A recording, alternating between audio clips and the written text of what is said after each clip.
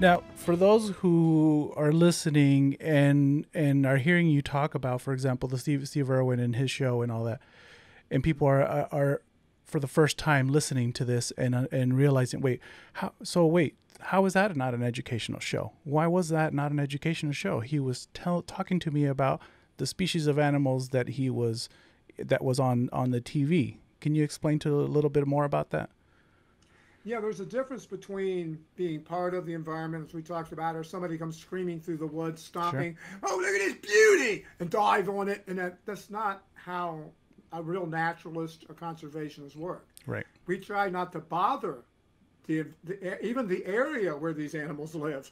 Right. By pouncing, running, screaming, making noises, there is other animals in the in the in the woods that you're startling and scaring when you do these things because the snake's not going to hear you. Sure. But he's going to feel the vibration of an over 200 pound man stomping his feet coming after him. Right. Now, as, as Tim Harrison, a person that's been dealing with reptiles his entire career, whose brother is Jim Harrison, who owns the Kentucky Reptile Zoo and Venom Lab, I've been around reptiles my whole life. And I can tell you right now that no reptile sits out in the open curled up in the middle of a grass field for yeah. a guy with all the camera equipment's already there, three cameramen with their lights, and he runs up over the hill and it's still sitting there. Right. That's called refrigeration. Yep. That means because they're ectothermic. So there's, he's actually teaching children how to damage these animals. They put them in a cooler, they dump them out, and I know this from being in Tasmania and uh, Australia when I was over there selling my first book. Yeah. And they loved me over there because I'd imitate Steve. I go, you know, back in Ohio, we have a situation with the monarch butterfly. it comes down, the mighty monarch will come down with a gigantic wingspan. It's enormous. It'll come down, and this mighty wing, it can take the cornea right out of your eye. Danger, danger, danger. Wait a minute. It's a monarch butterfly, right? Yeah. And it's, and it's a snake. The snake is a rope with a head on the end of it.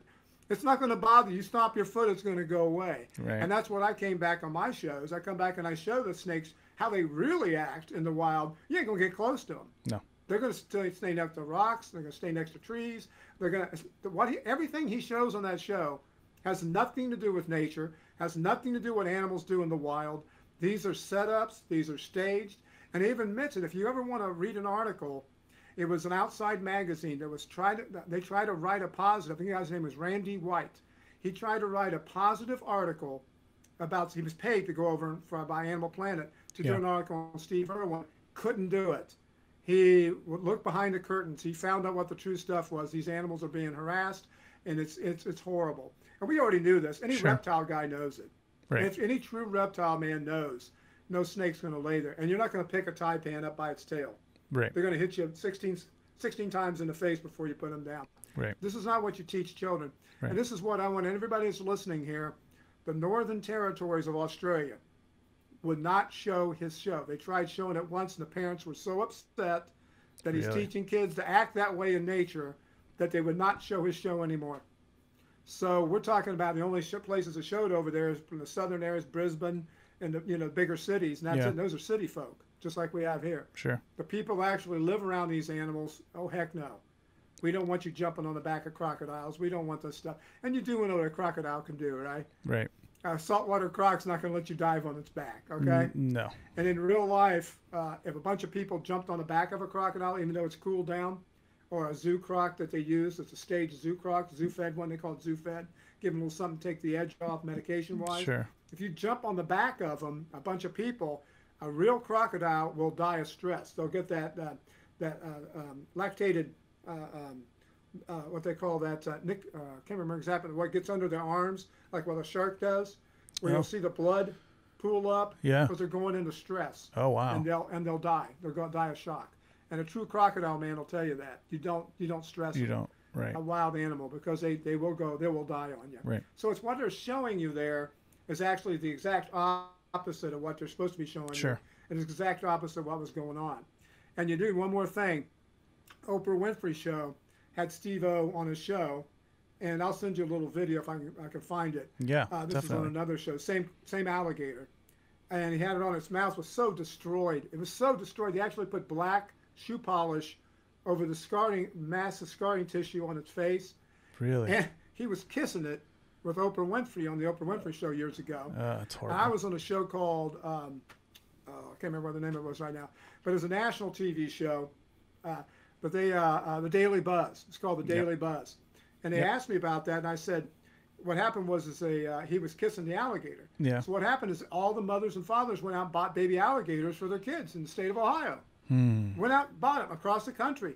So two kids in the Cincinnati and Columbus area got baby alligators, and their mom took pictures of them kissing the alligator like Oprah and, and uh, Steve Irwin, right? Yeah. One got his lip bit off, the other one got the tip of his nose bit off.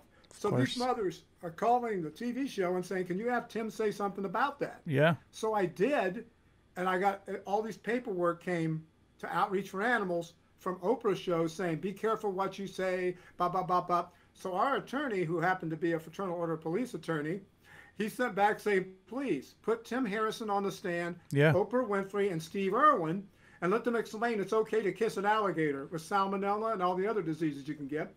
Have him tell him, and then Tim's going to tell you why it's not good. Right. You guys make that decision. And They backed off immediately. That's what happens when you, when people get crazy with this stuff, and people believe it. It's kind of a cult mentality. Right. But Steve-O, he's allowed to do that. He knows what he's doing. Sure. I mean, people imitate it. Monkey see, monkey do. Absolutely. And then if, uh, like you know, like uh, get injured or hurt. Right. Absolutely. So it seems like some a lot of these practices have been going on for a while. It's just that we haven't really been aware of it. I mean, I can rem- I can remember like some of the uh, is it I believe is some of the old those old uh, nature films that they would you know reenact or put a bear and, and another animal together so they can you know have it out and or throw off the you know animals off a cliff just so they can just you know film it for no reason you know just because they want to see something in action so it, it seems like in a sense like this, this is never really have has gone away in, in, in the media it's always been a, a it's it's it's always the main agenda is to sensationalize what's what's in front of you right Yeah, it's it's the thing is it's man versus nature always a Tarzan Yeah. mentality. You know, where we we can do all these things and everything else. You're talking to Marty Stouffer, Wild America. Remember, Yeah. he got himself in serious trouble for wiring up rabbits by their leg so they can't run away from the the, the trained cougar running through. Everything was an animal that you know that they would that came from out of a cage, so he can film it like it was in the wild. right Marty Stouffer, you got Marlin Perkins that's uh, pulled off some staging things over the years. You know, it goes all the way back, back you know, to uh, uh, the black and white days. You Yeah. know, bring him back alive, Frank Buck. You Yeah. know, where he had to kill the female chimpanzee to save the baby, so we can take it back and use it. To, you know, use it to educate the Americans. Sure. This is like in the 40s. right Kill the mother. So you can take the baby to save it, Yeah. and they still say that stuff, don't they, Alex? Oh, we have Oh, to take the, the baby away from the mother to, to save the baby. We right. still hear the same Yeah. garbage we heard back in the 40s. Absolutely. not- you're absolutely right. It has not evolved. Yeah. And that's what I'm hoping the conservation game does. I know it's knocked the crap out of everybody so far that's seen it. yeah I'm hoping it will continue in that pattern for the average American. That's all I care about. yeah I know there's always going to be that small percentage of people out there that just off the wall don't Yeah. care. I'm looking for those people to just say to themselves, you know, that ain't right. Yeah. That ain't right for what they're doing. That's I, and they can see it themselves that this is con. They're conning me. Yeah. This ain't real. It's true. You know, this a snake don't act this way. Perfect example was Steve Irwin. I do this at all the colleges. I Yeah. have a PowerPoint thing where Steve, Austin Stevens, Snake Master, we can just go down the list. There's like six reptile guys that wrestle everything. yeah Well, uh, you know, Jeff Corwin, Jeff- all yeah. of them. How many times have you seen snakes striking TV cameras hard as, hard as they can with their faces?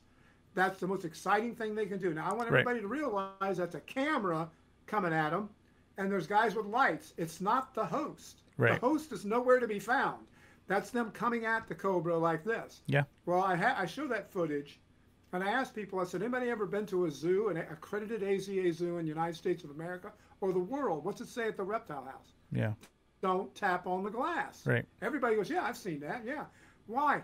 Why is that? And they go, I don't know. I said, well, it's because if they strike that flat surface, they have no arms and legs. Yeah. They got heat sensors, the Jacobson organ.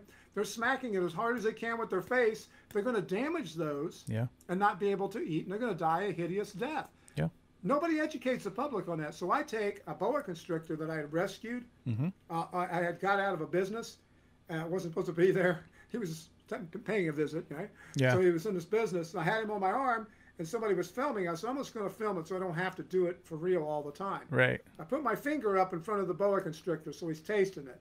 The reason I do that because all these reptile experts were saying I was startling the snake by tapping it with my finger. Okay. I want him to know there's something out there, okay? Yeah. He's tasting it. There's something in front of him. I take that finger and we shoot it from two different sides and I tap that heat sensor. That's all I do, tap it.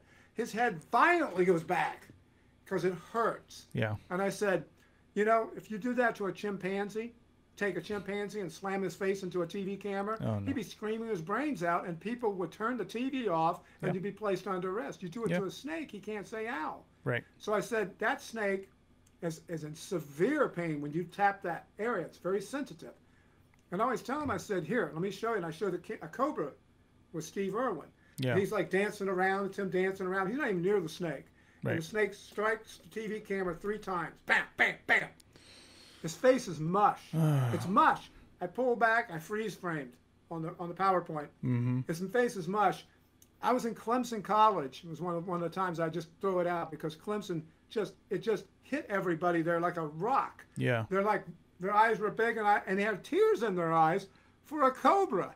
I said, "What do you think's going to happen to this snake, ladies and gentlemen? He has no face. It's mush, Yeah. and he's going to die a hideous death." And people have tears in their eyes. I- And one of the professors even told me, she goes, "I don't even like snakes." Right. She goes, "But it made me made me tear up." Right. That's the education we've had all the way up to now. That's great. You know, Yeah. striking at TV cameras, attacking us. Like Steve-O, he has to upset a crocodile so much till it charges him. Right. And then when people see me on my films, I go get the cobra or go get something like that. It's calm. I don't I hope it doesn't ever puff up. Sure. I want to calmly move it. I want to gently move it Yeah. so we don't stress it out and I don't get bit. Right. And now, Absolutely. 47 years and probably more than that, because I'm counting at 16 years Mm-hmm. on working for the zoo vet. Uh, before that, I was a kid catching snakes and stuff when I was young. I've never been bit by a venomous snake, and I've handled thousands because I actually respect the crap out of them. And as you say, pa- I got compassion for them. Right. I don't Right. want to stress them.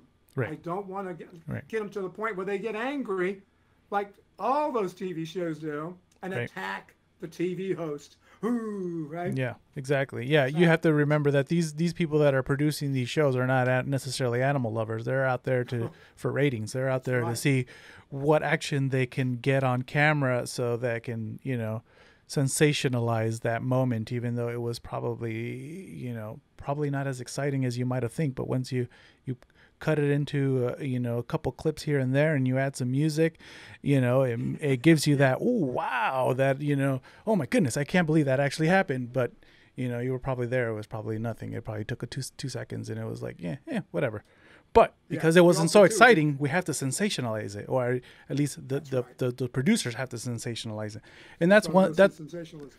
yeah, and, and that's one that's one thing that that that my brother and I Sam that I mean we hate shows that are like that obviously you know because it's not real. They call it reality TV but it's not really reality TV it's all produced. It's all it's all scripted. Everybody's got their lines just like a regular drama or comedy series. There's nothing no no other different. The the what what I don't like about it is that they're trying to tell you that it is real and it's actually really not. So Right. what we do is, I mean, obviously, one of the things that we do when we go, we're out, you know, filming and documenting, we we try not to uh, to get involved. You know, we're we're there, we're we're behind the cameras, and what happens happens, and that is it. We don't go out and be like, hey Tim, can go go ahead and reenact that and jump back in there in that water and let's take your shirt off and let's make it all sexy so that the camera can see it and do this, this, and that, and we get better ratings. No, that's there's no education in that, you know, you know. So that's that's one thing that we do definitely work on is to complete just educate the public. This is what's going on. This is this this is this has been going on for years, and now it's time to let you know to shine a light on it. So, because there's not a lot of shows out there. If you, you know, I can both probably agree. We can go to just about every single cable network and name me one educational channel other than maybe whatever BB shows you know that we're watching as far as you know Planet Earth and stuff like that, where they're actually was going to say educating you about the killer whale or whatever species out in the wild. You know, that's pretty much it. But imagine if, but you know, but people don't realize obviously those because they are real.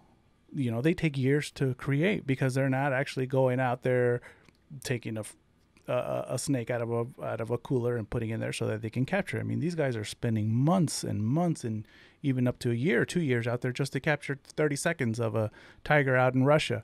So imagine if we would have a lot of these more stories, like more of the captivity stories here in the U.S. that we could be putting out in the air uh, on network television, but not but real stories, not not you know sensationalism stories, you know. But the problem with that is that these networks, it's it's not sexy. It's not sexy. It doesn't doesn't sell. But you know, I don't know. I think people are changing the way they think. I think people are kind of craving these kind of uh, of documentaries that are waking you up, you know, like the Blackfish, the Seaspiracy, the you know, Cowspiracy, all these different type of uh, uh, of documentaries. Uh, Elephant in the Room, of course, and and now with the conservation room. I mean, uh, the conservation game. That I mean, eh, for those of you who haven't seen it yet, it's it's not out yet. I'm sure you eventually will it'll be out for streaming but it is an amazing documentary i mean it will wake you up it will at the same time you'll see some of those people that you followed for many years and be like what? They're doing that? And and and you don't realize it because you would it's the people you would never really think but it, it's definitely an eye-opening film